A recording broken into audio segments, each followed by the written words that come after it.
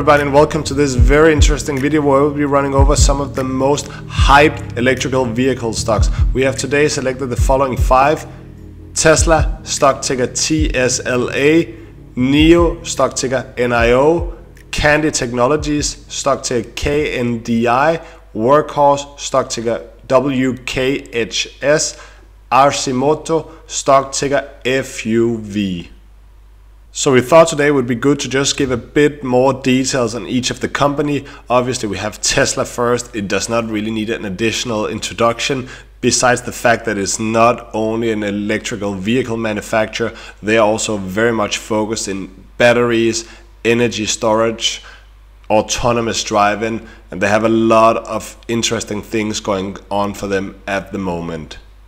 NIO was on the verge of bankruptcy earlier in the year but was saved last minute by some investors or perhaps more the Chinese government and since then the stock has just exploded. It is also focusing on the premium electrical vehicle market similar to Tesla so it's a direct competitor. We also have another Chinese company, Kandi Technologies, which is also manufacturing their own vehicles but also batteries. They are different from Tesla and NIO in the sense that they focus on a complete different market, which is people who only need cars for short trips less than 100 miles. And they are also providing the cheapest of the cheapest cars on the market. They have just expanded to the US where they have launched two new models less than $10,000 they cost. It's going to be very interesting to see if they can get a grip in this more niche market uh, or whether they will fail considerably.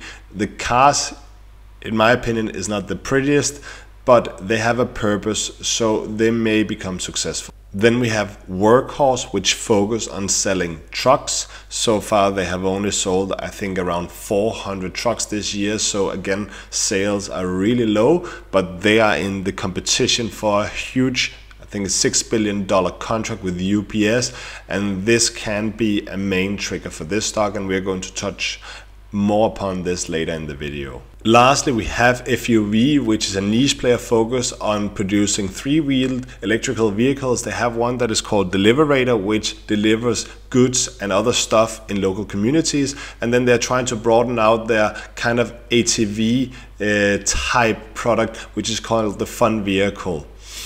So we then obviously want to understand whether these companies is in an uptrend or downtrend. So if we look here in the most recent periods, we can see that all of them year to date have been on fire and a lot of them has piggybacked on the hype around Tesla, which year to date has gained 414%.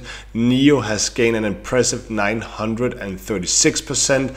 Kandi Technologies 99%, Workhorse impressive 469%, and FUV also impressive 278%. However, it is worthwhile to note that while Tesla, NIO, and Kandi are all in uptrend, if you look from a simple moving average perspective, Workhorse and FUV are in downtrend if you compare with simple moving average 20 days and 50 days. We then want to understand if these companies can deliver any profit in the end of the day. Obviously, this is electrical vehicles in its early phase of adoption, so we do not expect that for all of them. First, we think it's important to look at the revenue though. We can see Tesla has 28 billion, so by far the biggest of all the five companies.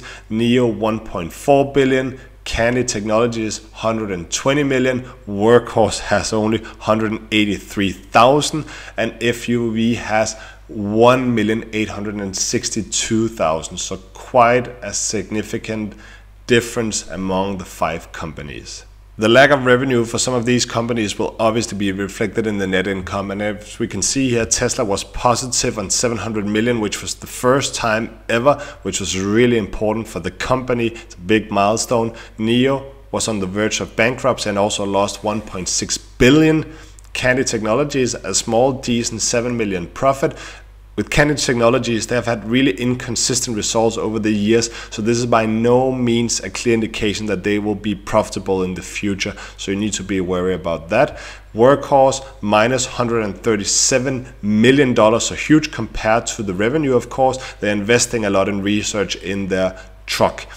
and FUV similar minus 16 million, also focusing a lot on um, research and development, and they have not been as successful uh, in rolling out uh, their new Fun vehicle due to the Rona situation. We can also take a look at the Beneish M-score, which is a mathematical model that determines whether a company has manipulated its profits. So we want this to be below minus 2.22. Tesla green, that is good. NIO only 0.40. And what is really important to note on NIO is that their accounts are unaudited. Again, not saying that anything is wrong, but in China we had a similar case with uh, Luckin Coffee, which was growing like crazy and was going to compete with Starbucks. And in the end, it was discovered that all was fraud. Again, not saying this is the case for NIO, but just be mindful that their accounts are unaudited. Kandi, here has 2.03 minus, which is okay, it's not too bad. Workhorse 0.66, a red flag, and FUV 78.06, a really big red flag for them, so please keep this in mind. We can also take a look at the Sloan ratio, which just shows if a substantial part of their earnings are non-cash accruals. We're not interested in that, so we want this to be between minus 10% to 10%. Tesla green, NIO almost green, looks okay. Kandi green, Workhorse again minus 177, so a big red flag for them. And FUV looks alright here with minus 10%. Okay, let's do a quick recap on the stock trend. Tesla, NIO and Kandi is an uptrend. Workhorse and FUV is in a downtrend. On the net income part, Tesla and Kandi is positive. NIO, Workhorse and Arcimoto are negative. On the net profit margin for the last 12 months, Kandi is the best, followed by Tesla, and then NIO, FUV, and Workhorse was of course negative. We then want to understand how high returns and cash flow margins is being generated and if we first take a look at the return on invested capital here we can see the Tesla respectable 8% minus 22 for NIO, 14% for Kandi really good Workhorse minus 26, not too good. And the worst one, FUV with minus 98%. A similar story on the level 3 cash flow margin, 7% for Tesla, minus 109% for NIO, 2.5% for Kandi, minus 23,389 for Workhorse and minus 738 for FUV. So really poor numbers for those two, but it's no surprise considering the revenue we just looked at. We can also take a look at the balance sheet, which is again really important in this situation as some of these companies are not earning a lot of money. So we want to understand how strong the financial position is and whether they can continue to sustain their losses. So we can first take a look at the current ratio. We want this to be above one and we can see Tesla, NIO and Kandi is doing really well here above one. Workhorse again, red flag 0.33 and a really good number actually for FUV with almost 5. On the cash ratio, Tesla doing fine above 1, NIO, Kandi and Workhorse doing very poorly. They don't have a lot of cash on their hand, which again is very important considering the cash burn that some of these companies are doing. So if we look at NIO, they cannot sustain a similar year next year with the cash that they have at the moment. Kandi Technologies was obviously in profit, but they have had larger minus than minus 6 million in the past. So again, it's also a small red flag for them. Big red flag for Workhorse, which do not have enough money, most likely to continue uh, with the cash burn. And then last we have FUV, which actually looks quite okay with 2.67, but again, they only have around seven and a and a half million dollars and last year they have had a minus in 15 million so still quite a red flag for them Next, the total assets versus total liabilities. We want this to be above 1.5. Tesla green. NIO only 0.80, so red flag. Kandi really good here again with 2.77. Workhorse again a red flag, no surprise here, 0.44. And FUV actually doing quite okay here with 4.04. A similar story on the debt equity where Tesla, Kandi and FUV are doing quite well, whereas NIO and Workhorse there's red flags. We can also look at the Altman Z score, which is a credit strength test that assesses the likelihood of bankruptcy. Want this to be above 1.8. Tesla really good. NIO actually also really good here, a little bit surprising. Kandi also doing really good. Workhorse again minus 1.43. bit red flag, and FUV doing extremely well with 19.38. Piotroski score is another way to assess the strength of the uh, financial situation. We want this to be equal above 5, Tesla good, NIO only 3, Kandi 6, so that's really good. Workhorse get the lowest with 1, and FUV also red flag here that only gets 3. I would say for NIO, more specifically, even though there's quite a lot of concerns here, they are supported by the Chinese government. So again, I wouldn't be too concerned with their financials because I think once the Chinese government selects a, a winner, they will stick with it. So bit similar situation as with Alibaba. So again, back on the recap, we first looked at the return on invested capital, Kandi doing the best, followed by Tesla, NIO, Workhorse, and FUV. Levered free cash flow, almost same situation. Tesla doing the best, followed by Kandi, NIO number three, and then Arcimoto and Workhorse doing really poorly again. On the Tattle ratio, FUV was doing really well, Kandi the same, Tesla the same, and NIO was also doing quite fine.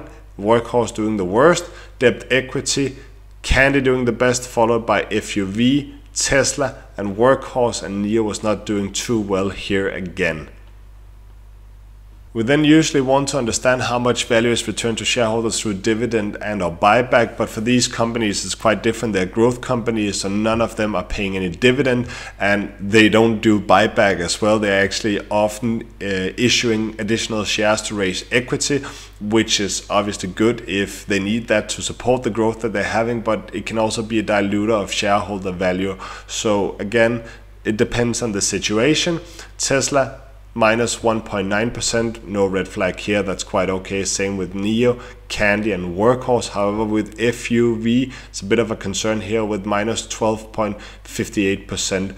We will expect that both perhaps NIO, Workhorse, and FUV will have to raise more cash in the next year to support the growth, considering the loss that they have had. We then want to understand whether these companies are expected to grow in the future. And for these ones more specifically, rather than looking at the P ratio, we thought it would be good uh, to look at the price to sales ratio, which is another valuation metric where you are comparing the share price in with the revenue. And we can see here Tesla 15.31. It's actually quite okay compared to most of the other companies, but it's still on the high side compared to other industries. NIO much higher with 40.74. Kandi the lowest with 4.68, so that's quite okay. Obviously, Workhorse it's really poor here. It's 10,206. No surprise given the revenue that they're having, and a similar situation with FUV here on 109. We can also take a look at the revenue growth for the last 12 months and we can see here Tesla respectively 39.16% looking quite good. NIO amazing 139.54% so again this is a big plus for them and one of the reasons why the share price has exploded in the recent months. Kandi technology is the first major big red flag we see for them. Their revenue went down with 19.5% However, they have just launched two new cars in the US, and it's going to be quite interesting to see if they can reverse this because that is needed if the share price is to go up again. Workhorse and FUV are obviously really big, but they come from so small, small values that it's quite irrelevant to look at as of today. Similar situation on the net profit growth for the last 12 months. Tesla 80% almost a really good number. NIO again 58%, which is really good compared to the loss they've had. So it shows that they're on the right path, perhaps to profitability.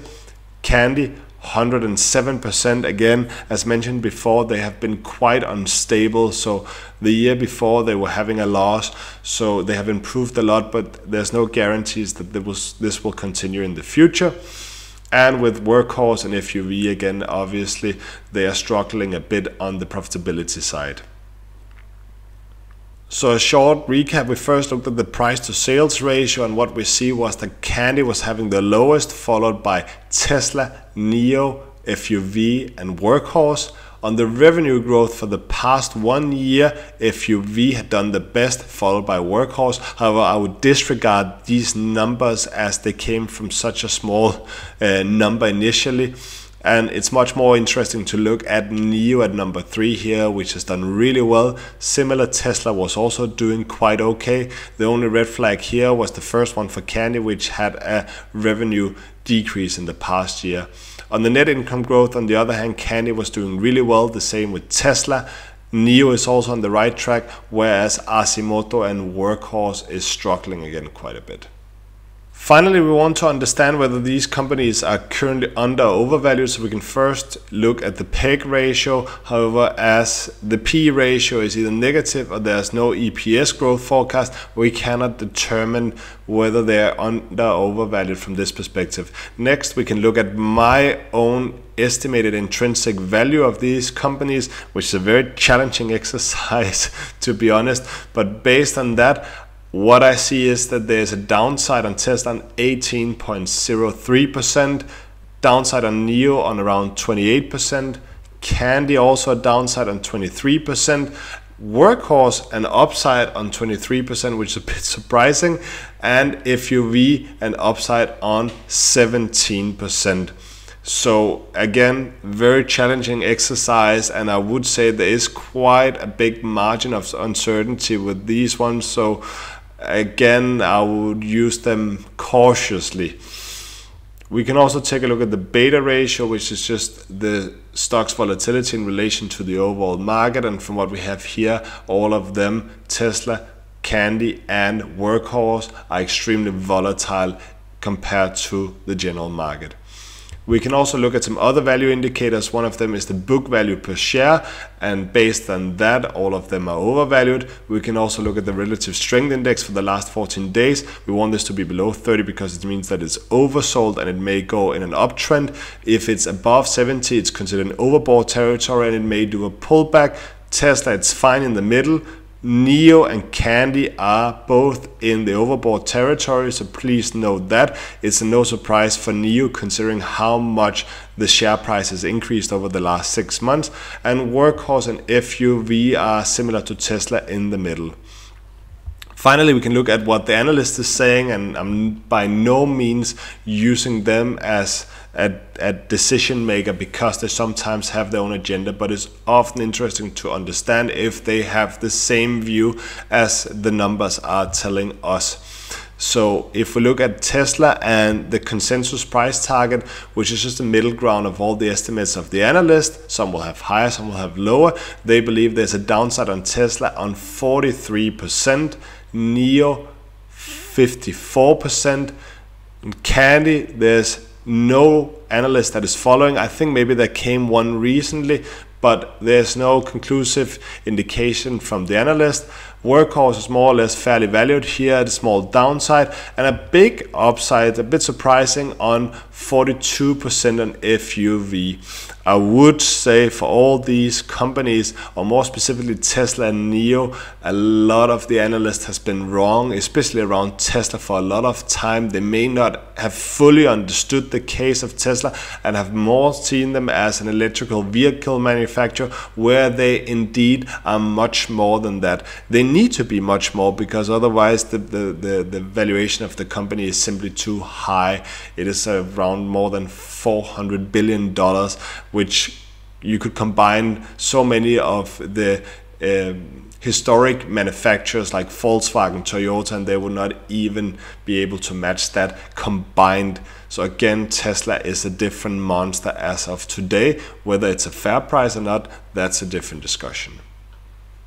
So to sum up how we see the overall value assessment of these companies as of today, there is a lot of uncertainty around those numbers, but that is that Tesla, NIO and Kandi are all overvalued, Workhorse and FUV are undervalued. But I would say specifically for these companies is their growth stocks and there's a lot of intangible um, factors that determines the price of those that they are overvalued doesn't mean that they will not increase more going forward it may actually continue to increase while as the one that is considered undervalued may decrease so take it with a grain of salt Alright, so usually we would select the top picks among these stocks, however we thought it would be more interesting to run over each one of them and give our final consideration. So as we just mentioned, it is challenging to evaluate these growth stocks. However, for Tesla, it has strong fundamentals. It's probably the best among the five, has the best software, has the best cars. However, we are a bit concerned with the high price that Tesla comes with as of today, even with a 15% discount compared to its 52 week high.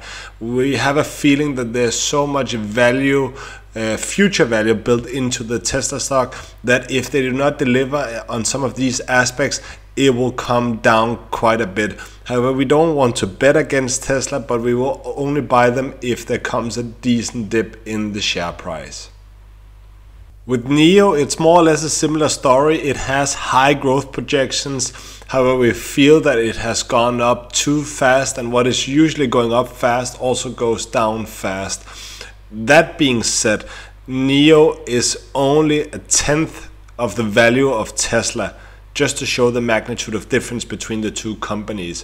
And again, we think that in the long term, NIO will be a good investment. However, we are not sure whether it will be a good time to jump in now as the share price have climbed so much over the last six months. Again, we may be wrong and this may continue further up, but this is how we feel as of today. And therefore, we will only initiate a position if there comes a decent dip in the share price. Next, we have the Kandi, unstable results. There's a big upside if the new cars are successful in the US. However, to be honest, if you go and check the pictures of those cars, they are really not that pretty. And Kandi had a launch event, online event, where there was big expectation, but it flopped massively. And there was not a lot of people who signed up Uh, as pre-rights to buy the car in the future, even though the cost for such would be reimbursed and it was extremely low. So it's an indication of that they it may be challenging for them to get a foothold in the US, but we would say if they do so, they will look really attractive and you could expect high returns on this stock if that happens, but it is a speculative play. then we have Workhorse no revenue, but they have a huge potential if they are awarded the UPS contract on $6 billion. So again, it's a speculative play. What we would say, although we do not like the numbers of workhorse as of today, which is obviously the, the, the case when they're not selling any trucks, it is still that we think there may be a good idea to buy the stock today. It has fallen quite a bit and it's like 40 or 50% away from its 52 week high. And once there comes a closer decision or closer time to the decision of UPS, we have a feeling that there may be anticipation that they will be awarded the contract and therefore the price will go up. So we actually think it's going to be a quite good investment, but it should only be for short term and you should really be uh, constantly checking on news about the UPS deal. If they get it still, it's going to be a huge game changer for this company. Last, we have FUV Arcimoto.